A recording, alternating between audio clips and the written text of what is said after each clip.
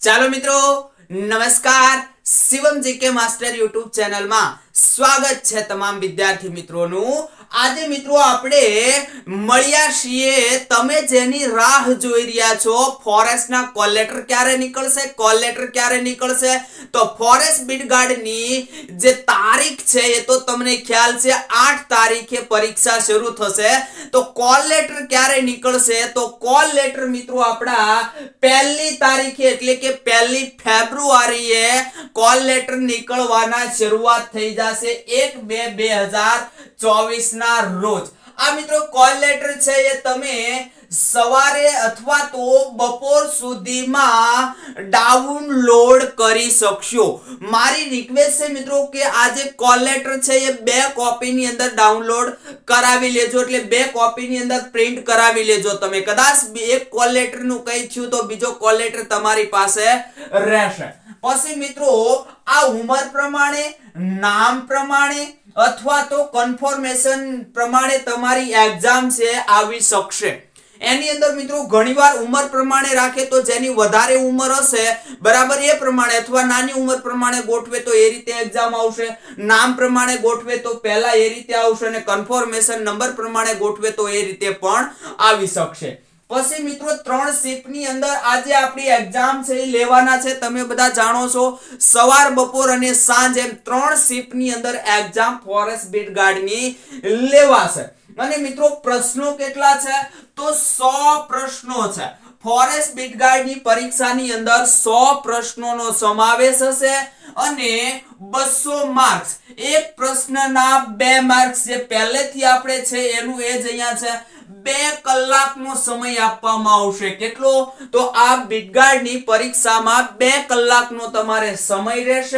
ખોટો જવાબ જો આવો તમે આપશો, તો એના માટે પોઈન્ટ તેત્રીસ નેગેટિવ માર્ક્સ રહેવાની સંભાવના છે.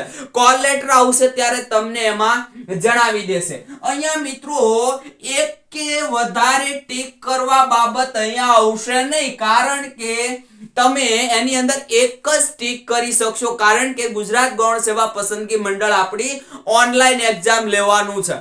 હવે મિત્રો, આ કોલ લેટર જાહેર થઈ ગયા. હવે અત્યાર સુધી તમે રાહ જોતા હતા કે ભાઈ કોલ લેટર ક્યારે આવશે, કોલ લેટર ક્યારે આવશે? જાહેર થયા તો ઘણા બધા વિદ્યાર્થી માનસિક ટેન્શનમાં આવી ગયા હશે. કેવી રીતે માનસિક ટેન્શનમાં આવી જાય? તો કે ભાઈ ટેન્શન વધી જવું. ઓહો, કોલ લેટર નીકળવા માંડ્યા. હવે શું કરવું? એવું ટેન્શનમાં આવી જાય. પછી વાંચવામાં મૂંઝવણ ભાઈ, હવે વાંચવું, ના વાંચવું, શું વાંચવું, ક્યાંથી વાંચવું, કરંટ કરવું, એ જીકે બાકી રહી ગયું, ગણિત બાકી રહી ગયું મેથ પછી રીઝનિંગ બાકી રહી ગયું, તો એનું શું કરવું? પછી વાંચવું કે ન વાંચવું, હવે શું વાંચવું? રિવિઝન કરવું કે હવે નવું વાંચવું? ઝડપથી વાંચવું કે ધીમું વાંચવું? આવા બધા ટેન્શનમાં આવી જાય. બરાબર? તો મિત્રો, કશું મૂંઝાવાની જરૂર નથી. આ તમારા ટેન્શન આ તમારા ટેન્શન એક જ ઘડીવારમાં ગાયબ. એના માટે આપણે આગળનો લેક્ચર ખૂબ સરસ મજાનો બનાવશું.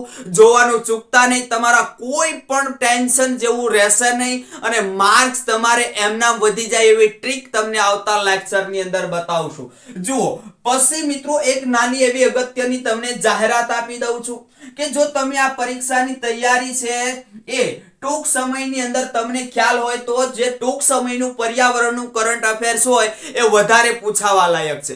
તો એના સંદર્ભે મિત્રો આપણે અહીંયા બે હજાર એકવીસ, બાવીસ અને ત્રેવીસનું સંપૂર્ણ પર્યાવરણ કરંટ અફેર્સની ઈ બુક એટલે કે પીડીએફ આપણી આગળ અવેલેબલ છે.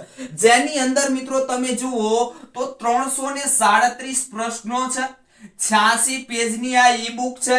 અને મિત્રો, તમે સમજાવો, સમજણ સાથે ગણો તો એક પ્લસ પ્રશ્નો છે.